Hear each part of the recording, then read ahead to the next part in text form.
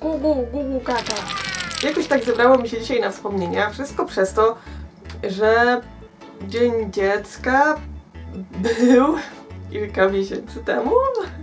E, nieważne. Chciałam dziś zapytać Was o to, co czytaliście w dzieciństwie i pokazać jednocześnie, co czytałam ja. I nie chodzi mi o takie pierwsze, pierwsze, pierwsze książki, bo wtedy musiałabym pewnie pokazać jakieś baśnie albo te książeczki z szukaniem postaci w stosie innych, od czego dostawałam oczopląsu, albo historyjki o Martusi, które czytałam ciekawe czemu.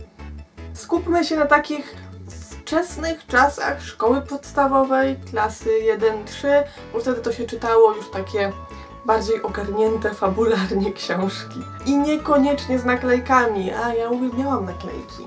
Mogłabym też troszeczkę skłamać i szpanować i odstawić tutaj jakąś burżułę, mówiąc, że w wieku 7 lat czytałam pana Tadeusza albo, nie wiem, nędzników czy coś, ale szczerze, szczerze to bądźmy szczerzy. Zacznijmy od bardzo dobrej informacji, bo teraz właśnie wyszedł dodruk tej serii, można ją znowu kupić. Ona jest dobra nie tylko dla dzieci, jest też dobra dla osób troszeczkę starszych.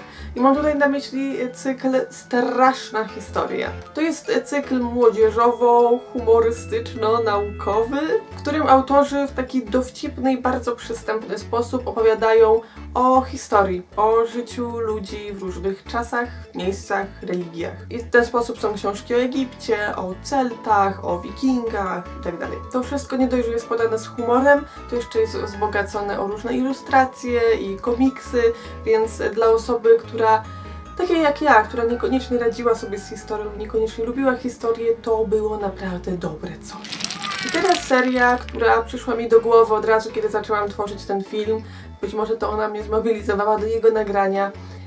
I to jest Pamiętnik Księżniczki. W Polsce został wydany w 2001 roku, więc myślę, że czytałam go mając tej 7-8 lat. Pamiętam jak chodziłam w szkole podstawowej do biblioteki szkolnej i wypożyczałam kolejne tomy.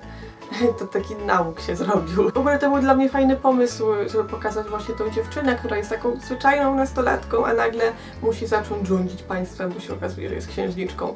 Y, nie pamiętam moich wrażeń i opinii dotyczących tej, tej serii, jakie miałam wrażenia po lekturze, ale wydaje mi się, że film podobał mi się bardziej. Nie wiem, przynajmniej bardziej go pamiętam. Może też dlatego, że go później oglądałam. Who knows? Kolejna seria, którą czytali chyba wszyscy, to Mikołajek. Ciągnęłam się totalnie w tę historię chłopca jego przygód i problemów szkolnych i rodzinnych. On był w dodatku chyba wtedy dla mnie rówieśnikiem, więc też jakoś tak lepiej się to łatwiej przyswajało. Bardzo podobał mi się jego słowotok. Wydaje mi się, że może mi nawet troszkę imponował, bo sama nigdy nie byłam taka wygadana, a tam jednak e, e, te zdanie potrafi się ciągnąć jedno zdanie przez całą stronę. I lata później trafiły do nas nowe przygody Mikołajka, tak to się bodajże nazywało i dostałam tę książkę.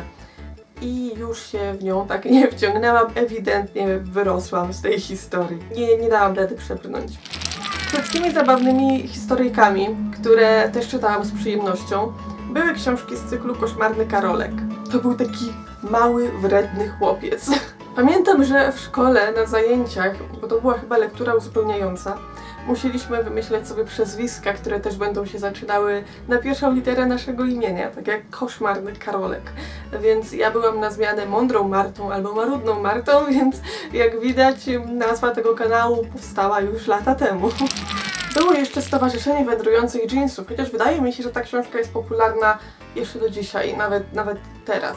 Taka historia o przyjaźni i, i podobał mi się motyw jeansów, tego, że te jeansy były przesyłane i za pośrednictwem tego my poznawaliśmy, czytelnicy poznawali e, historię poszczególnych dziewczyn, bo dowiadywały się to z pośrednictwem jeansów, to brzmi głupio.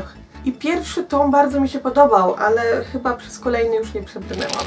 Oprócz tego było jeszcze rzeczywiście bardzo dużo lektur, takich obowiązkowych czy, czy uzupełniających, typu Kubuś Puchatek, Dzieci z Bullerbyn, których nigdy nie lubiłam, wybaczcie mi wszyscy fani Dzieci z Bullerbyn, nie.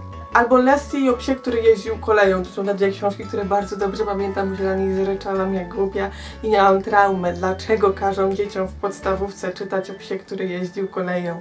Ja po prostu wciąż mam tą traumę. Ja wciąż to przeżywam. Nie, dlaczego? Po prostu oni mi rujnują dzieciństwo. Nie.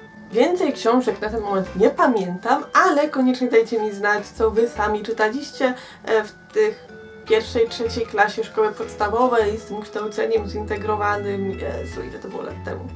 Poczułam się starą. W opisie też wszystkie linki do social media, które warto śledzić, żeby być na bieżąco i do zobaczenia w kolejnym filmie. Pa, pa! Jaram się kucykami, nie?